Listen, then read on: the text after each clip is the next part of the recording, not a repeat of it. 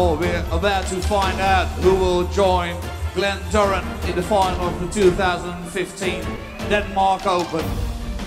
One thing we do know for sure, it's going to be an All England final. Please welcome first to the stage a man who made his debut in the 2015 Lakeside. He's been runner-up in three ranked events in 2014. Ladies and gentlemen, ranked number 11 in the world, it's Bib Blackwell!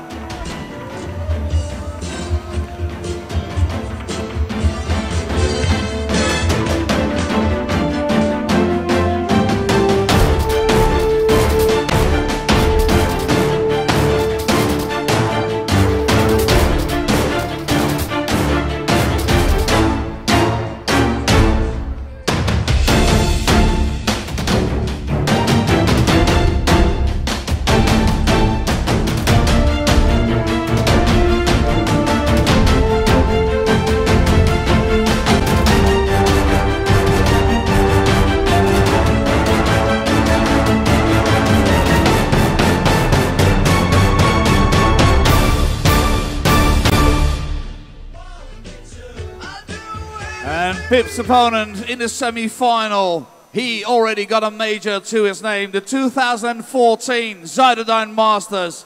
In 2015, he's already picked up one ranking event, the Romanian Classic, ranked number five in the world. Please welcome Yoza Jamie Hughes.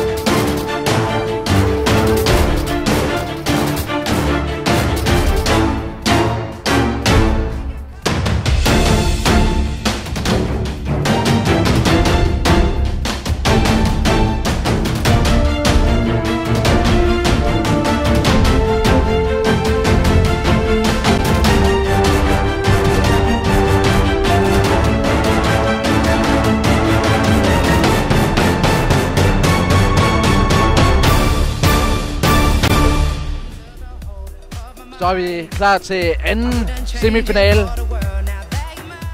Anden semifinale, der består igen af to englændere. Den syvende seedede Pip Blackwell. Og tredje seedede Jamie Hughes. Jamie Hughes i billedet her. Altså den regerende Suited Masters. vinder, lige præcis. Blackwell, der omvendt ikke øh, er kendt for de helt store resultater, men øh, altså jeg kan ikke med, komme i tanke om noget, han har vundet. om ikke andet øh, har han ikke øh, det store triumfer bag sig, men nogle fornuftige resultater ud til stævner, der altså har bragt ham op som Man. har bragt ham op som Jeg tror, han ligger omkring nummer 11.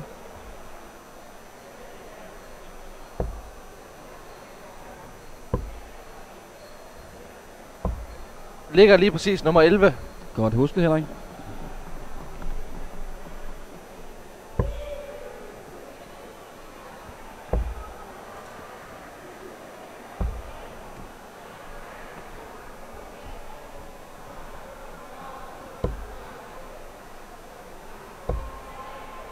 Og skal man bedømme de to spillere på de to første kampe, hvem ser du så som favorit, Henrik? Uh, den må være. Jeg synes faktisk, at Blackwell spiller en rigtig god kamp, og jeg er ikke, så var ikke så imponeret af Hughes, som han plejer at være. Øhm, ja, må ikke. Skal vi, skal vi tage dit bud? Ja, før weekenden havde jeg jo udset Den berømte kolonne, øh, kolonne, vi alle sammen kender. Typel tænker. Ja, en rigtig, rigtig Klassiker hentydning. efterhånden. Ja. Hvor Men mange, altså- os. Ikke desto mindre havde jeg dog forudset, eller gættet på, at Gættede på, ja. Ja, du gjorde Glenn Durant ville øh, vinde. Øh, og han ville Den slå Jamie. Hughes i finalen. Det var mit bud, Det var dit bud. og indtil videre så er Glenn Durant i hvert fald i finalen og Jamie Hughes på vej. på vej. 78.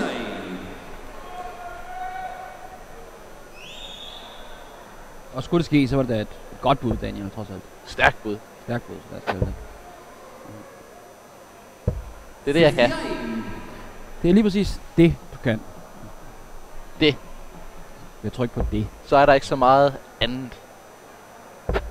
Det skal det nok være. 59.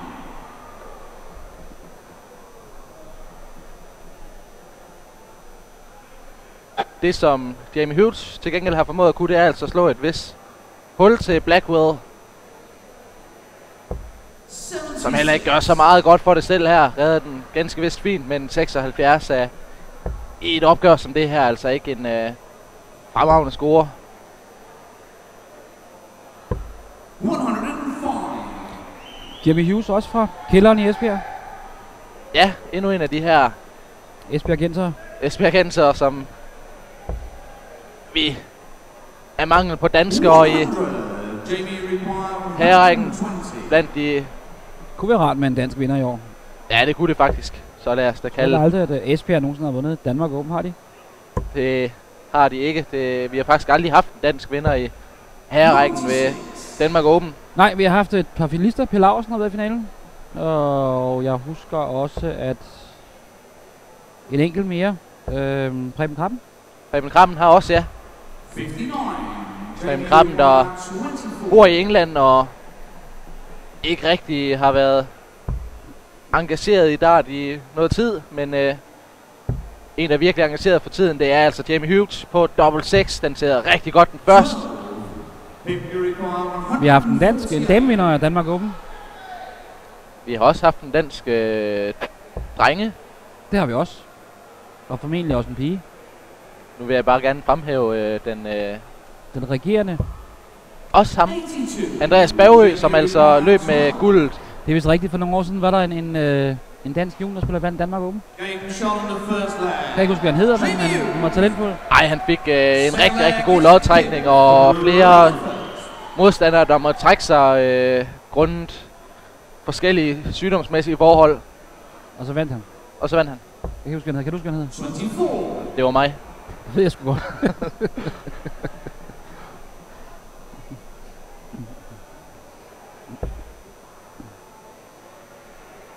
Men vi mangler en dansk vinder i herrækken.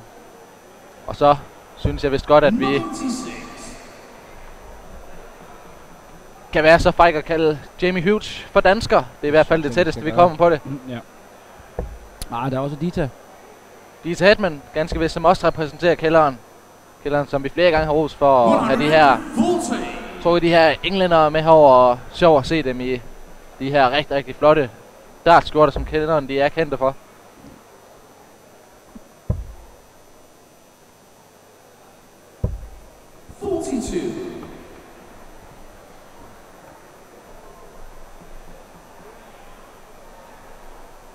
Nu er jeg ikke modekspert, men øh, den der sorte trøje, Blackwell han er på, den øh, står der og blegner lidt ved siden af, af kælderens jeg, darttrøjer. jeg, er personligt meget til de enkelte dartskjorter, men den, den, kan vi, den kan vi tage en anden Den kan vi tage senere. Du har selvfølgelig også en øh, masse damespillere, du kan diskutere det med, Ja, i forhold til din rolle som damelandstræner. 140.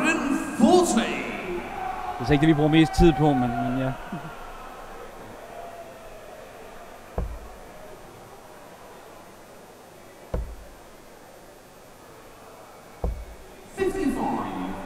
Jamie Hughes, som har lagt et, kan ligge en vis afstand her fra de 223. Så skal han ned i 19'eren. Ninety-seven. Og det lykkes han ganske fint med. Ja, Blackwell, som kæmper. kæmper gevaldigt her. Han skal bare blive op i 20'eren. Forty. 20'eren, Blackwell, 20'eren. Jamie require Ikke femmer. 126.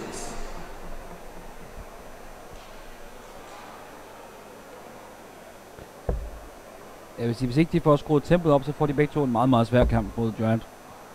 Ja, er Rand, som vi jo også så i kvartfinalen, men også 99. Jeg så ham også inde i hallen, hvor han spillede mod Michael van der Horst, hvor han også spillede helt exceptionelt godt, og med stående applaus fra mange af de tilskuere, som havde samlet sig om den kamp, som virkelig var seværdig. Michael van Horst, jeg så mod øh, Brian Buer ført øh, spille øh, en helt vild kamp. Han øh, øh, lukkede vist i 13, 13 og 14, og så var Buer bagud 3-0. Det gik hurtigt. Kommer igen, Brian, men man taber kampen. Sådan kan en dart kamp blive afviklet hurtigt. Det kan måske op i tilfældet her. Jamie Hughes er i hvert fald lagt godt for land med en 2-0-føring. Altså en kamp bedst af 9 legs. Det vil altså sige første spiller, der kommer op på 5 legs. Det vi på dansk omtaler som sæt. Vinder kampen. Så han mangler altså bare 3, mens at Blackwell altså skal op og have 5. Det går bedre med regningen, Daniel. Det er godt at se.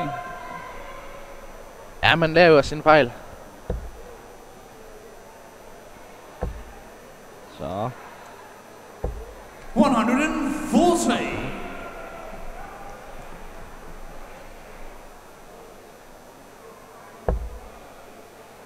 En meget aggressiv kast af Jamie Hughes. Meget. 140. Noget han altså har, har rimelig succes med for tiden. Ja, han er godt spillet. 87.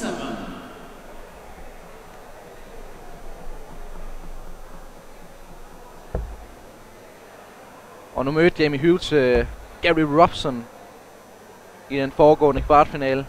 39. Og det var altså også en uh, modstander, han mødte i finalen ved hans triumf Det er rigtigt. ved Mm. Søjderøn Masters. Søjderøn, det er hollandsk. 100. En finale, han i øvrigt vandt med et snit på en 96,12. Det er også godkendt. Det må siges at være mere end godkendt.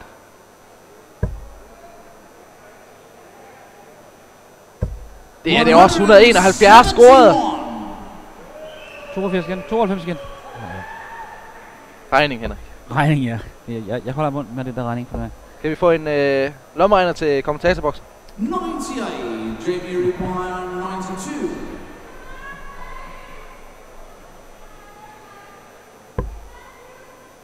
Ti. Puha. Dobbelt 16. Lige Ja. efter bogen, ja. 3-0. Jamie Hughes. Åh, så skal Blackwell altså virkelig til at stamme ballerne sammen, hvis ikke han skal undgå æg.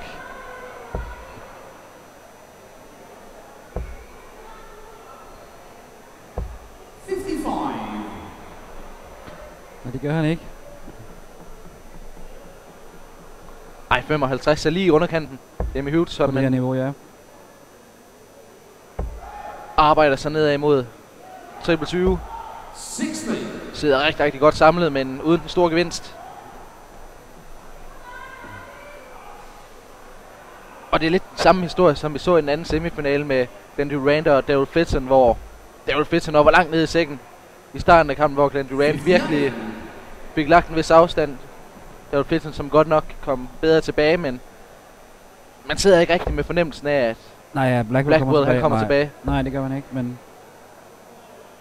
Lad os nu se. 140.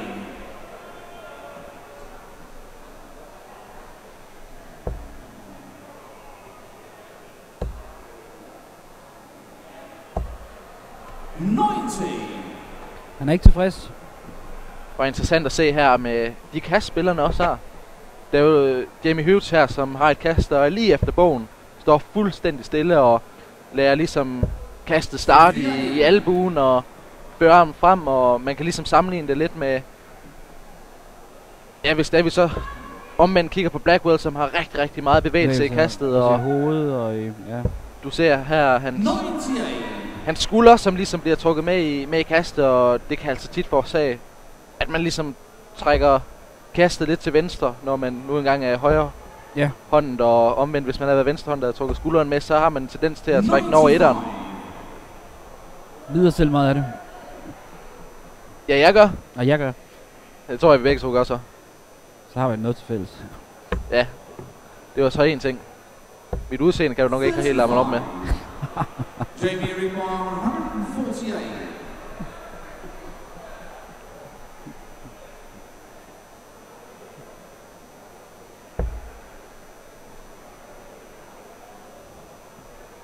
Men man kan sammenligne et, øh, et dartkast øh, med, med lidt god vilje øh, med, en, øh, med en pistol og, 95.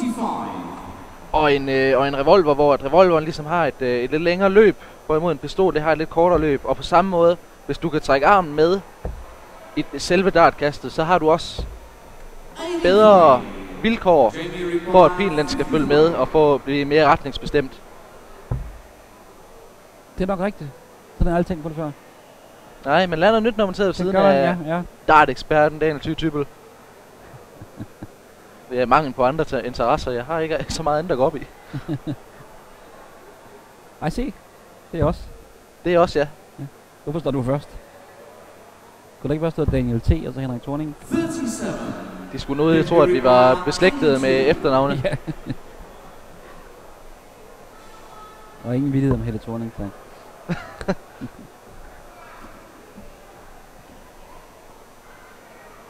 Så skal han over have fat i en 18'er Blackwell. Og det bliver altså en triple, så skal han hele vejen ned i dobbelt 7, og den får han lige netop. Ja. Og så begynder det måske at ligne lidt et comeback. Jeg tvivler, men Fifth flag is Jamie throwing first. Game Men lad os nu se. Det er set før.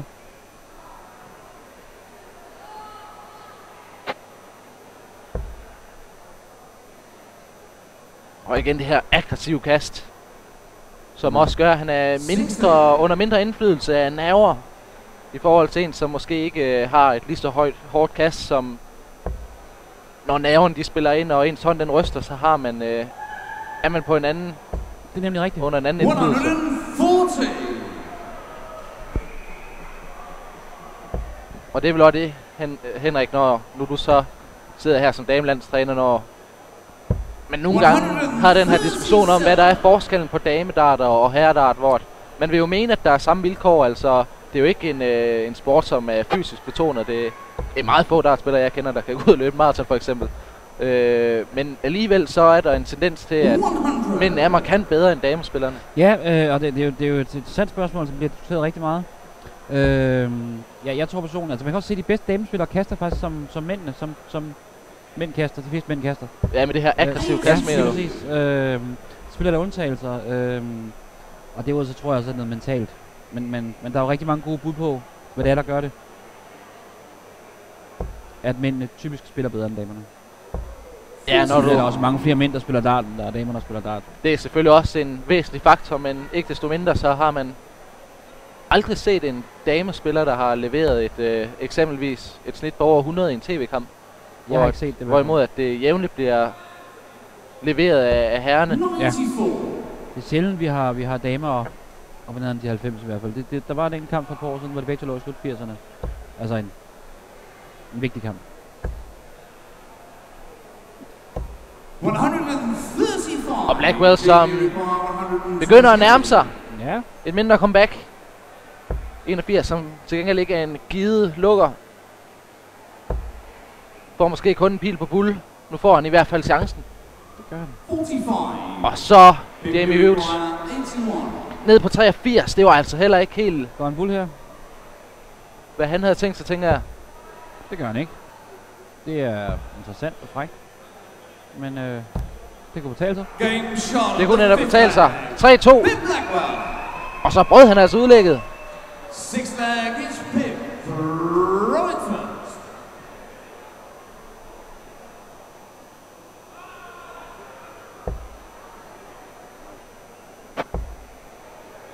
Og så er det lige præcis det, vi snakker om, med at man skal gå ind og levere en god score, når man har brugt modstanders udlæg. Ikke maksimalt pres på sin modstander.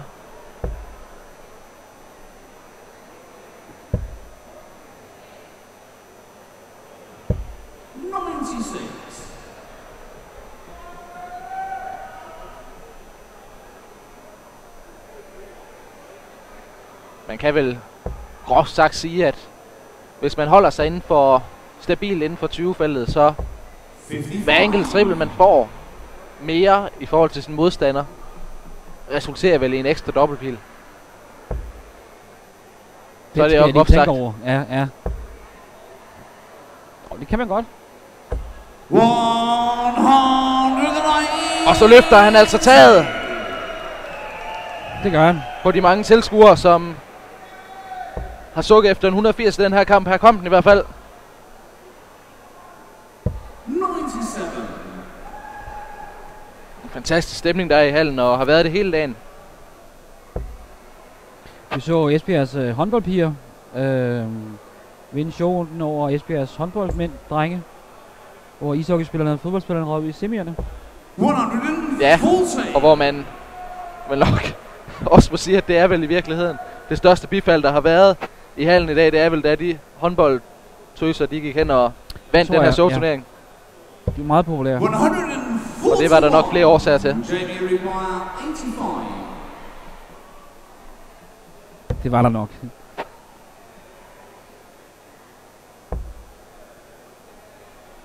Bull for Jamie Hughes. Wow. 44. Han så ellers meget overbevisende ud, men Ja, øh, det. Blackwell nu med mulighed for, en lidt uventet mulighed for at udligne til 3-3. Ned i dobbelt 2. Her hvor grafikken den kan snyde lidt, men 3-3. altså, jeg har lukket 3-3, og så er der lige netop tale om det comeback, som vi ikke havde forudset. På ingen måde. Og så, Så meget for eksperter. ja, vi kan godt gå ned i løn.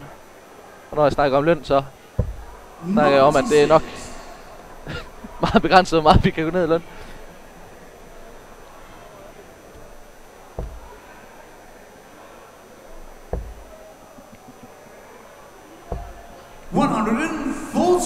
Spiller bedre nu, Blackwell.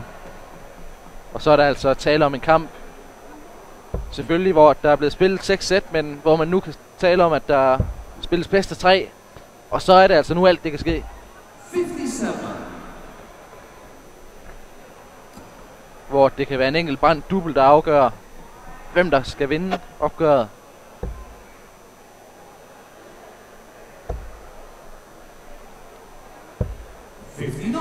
Og en der tilhørende plads i finalen på Danmark Open 2015. Her hvor vi efter den her kamp følger op med damefinalen, der består af hollandske Eileen de Graaf og engelske Dieter Hetman. Nummer 1 og 2 på verdensranglisten.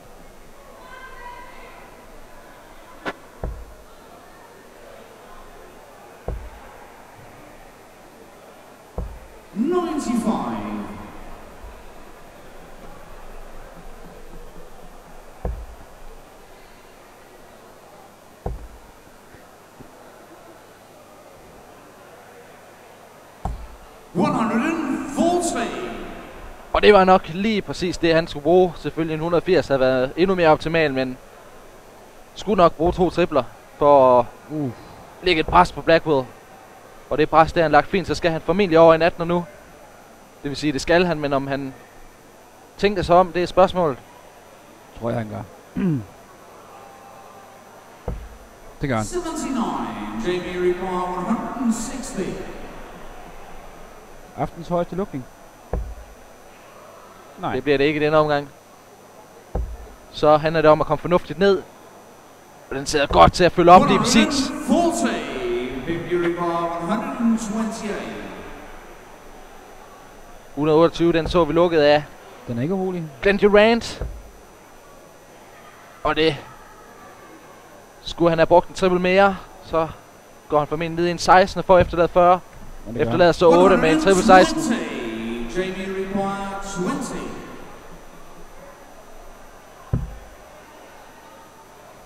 Og så må han tage et skridt til venstre. Den sidder akavet for ham. Og der kan man se hvorfor. Den skærmer altså lidt for hans udsyn. 10. Jamie require 8. Det blev altså tydeligt rystet af, hvordan den første bil den sad i forhold til dobbelt 10. Og en kraftig chance for Blackwood. Den Så- sidder til gengæld anderledes godt for ham. Uh. Og så kan han bruge den som the seventh Og det var jo lige præcis efter bogen. Så kommer han først tilbage alligevel. Eighth Fire, fire, tre. flag is picked. Robin first. Og har udlæg.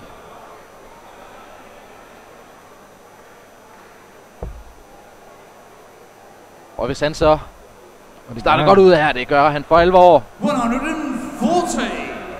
Ikke tilfreds med den 140 der. så er det ved at være svært at se, hvordan Jamie Hughes skal komme tilbage. Hvor være tydeligt frustreret var altså foran 3-0 og er nu bagud 4-3.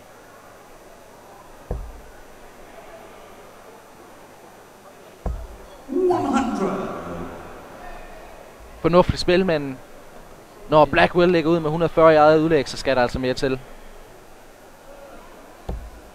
Han bliver ved. 140. Ja, det er klasse.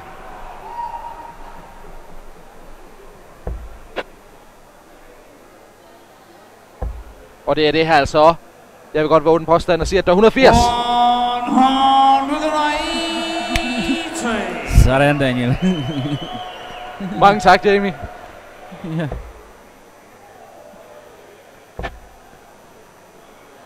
Og så er Blackwell presset. Det rystede om lidt, eller hvad? Og det burde det ikke kunne jo. 26.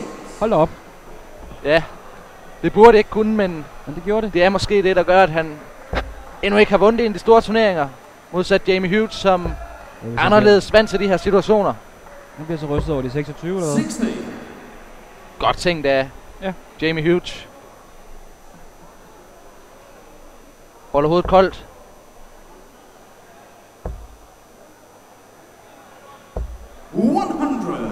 Jamie Ripper 161.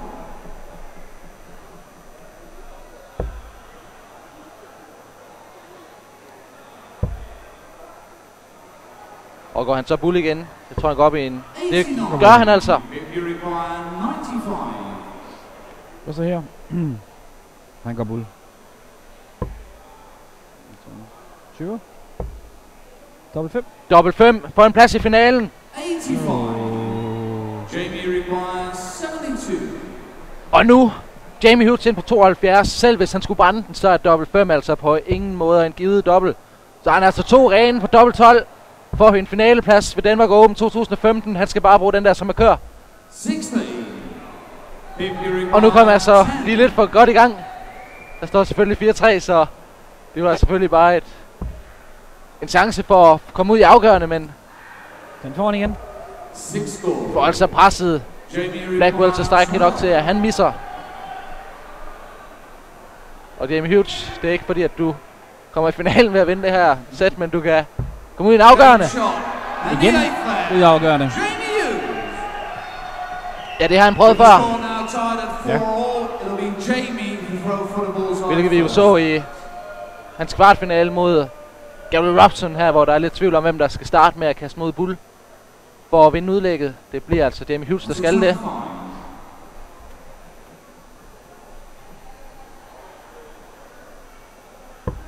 That's also a 25. And try again. Come on, again. For the first. Og det er også noget, der er en diskussion i forskellige turneringer. Jeg ved, at eksempelvis PDC gerne vil undgå det her med, at man kaster mod bull i afgørende sæt.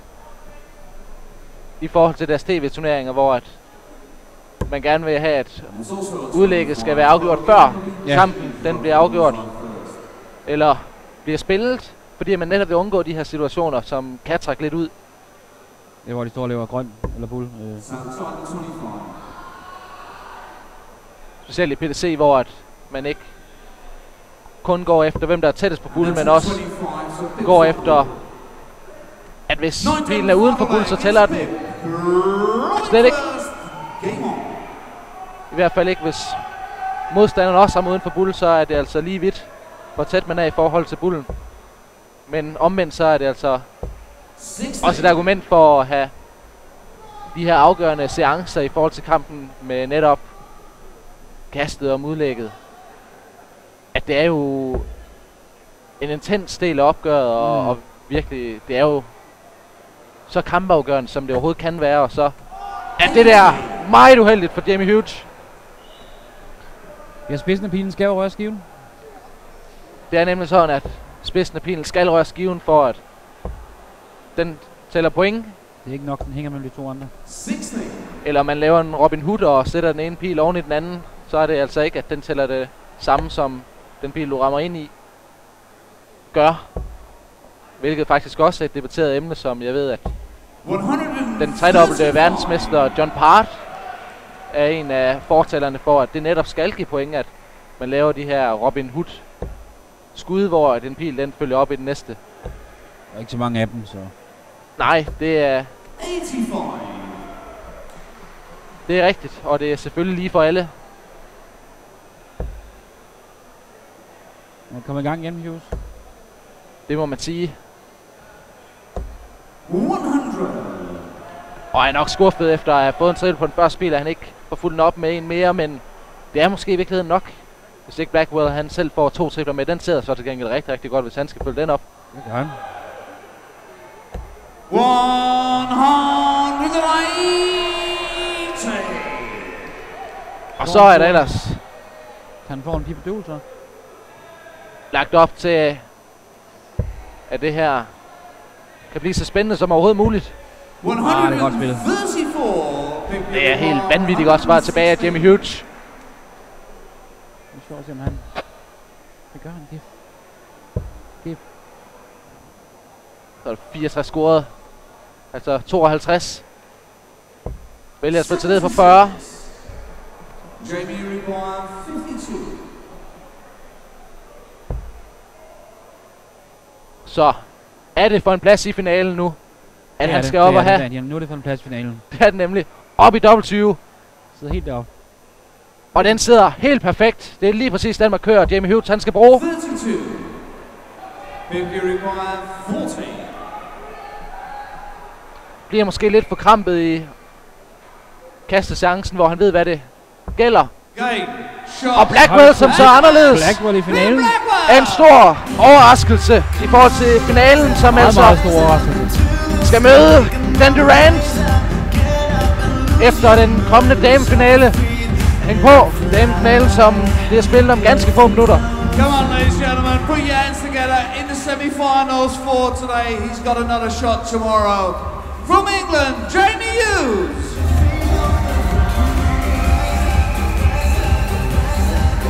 And this man may be on his way to his first ranking title. We'll find out within the hour. Ladies and gentlemen, Pete Blackwell.